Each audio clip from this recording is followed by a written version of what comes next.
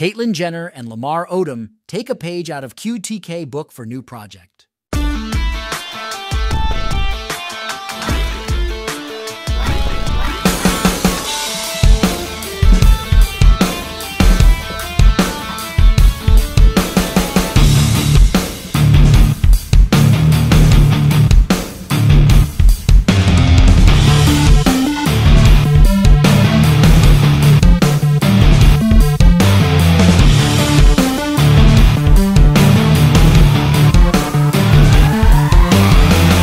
Lamar Odom and Caitlyn Jenner are taking their talents behind the mic.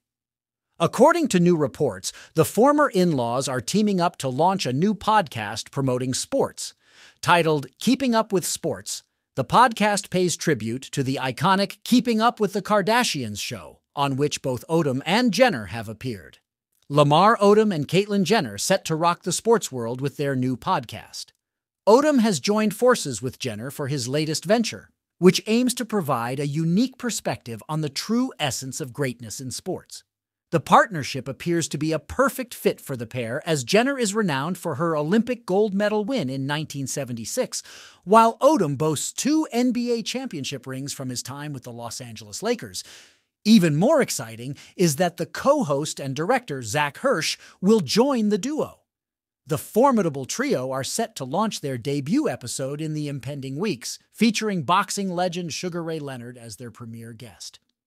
In an exclusive sneak peek video shared by TMZ, Sugar Ray courageously opens up about his past as a survivor of sexual abuse by one of his trainers.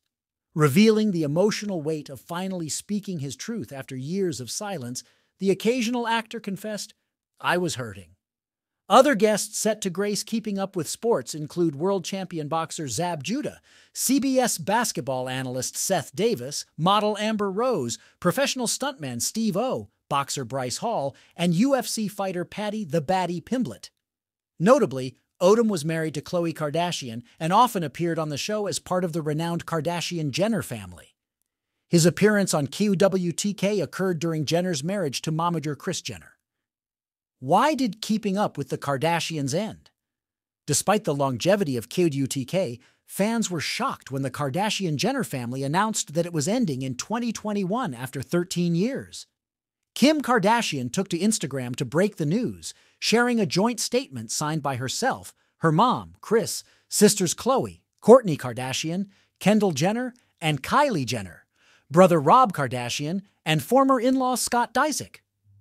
In the note, the family disclosed their decision to conclude this significant journey and thanked their fans for accompanying them through the good times, the bad times, the happiness, and the tears. Despite the clan's united front, subsequent reports alleged that certain members, including Kim, Kourtney, and Kylie, had considered walking away, ultimately leading to the show's cancellation.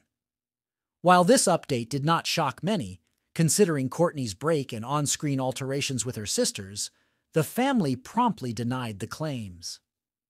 Lamar Odom's drug addiction led to the collapse of his marriage to Khloe Kardashian. Fans will recall that Khloe and Odom exchanged vows just one month after meeting at a party for Odom's teammate, Metta Sandiford-Artest.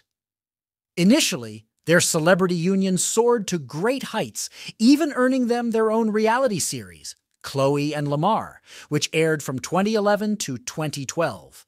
However, their fairy tale romance took a sharp turn in 2013 when the Good American founder filed for divorce.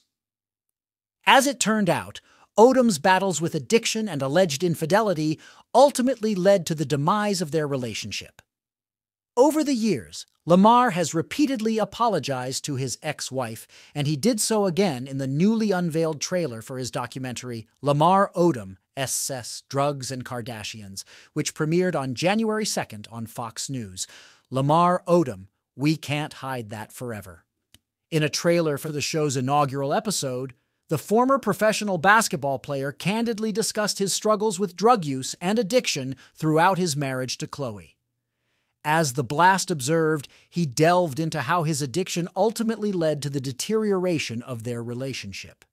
Reflecting on his struggles, Lamar candidly confessed to Harvey Levin Drugs was my girlfriend. I had a wife and cocaine. When pressed about whether Khloe was aware of his drug use during their marriage, the 44 year old acknowledged that he eventually had to come clean, stating, For part of our marriage, I had to tell her. We can't hide that forever. Where was Caitlyn Jenner during Kim's SS tape saga? In case you missed it, shortly before KUWTK was set to launch in 2007, a sex tape of Khloe's sister, Kim, surfaced online.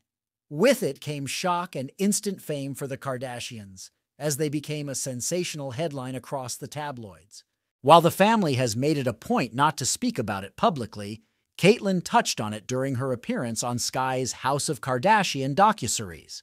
The college football player recalled retreating to the serenity of the country club when she heard about the intimate recording.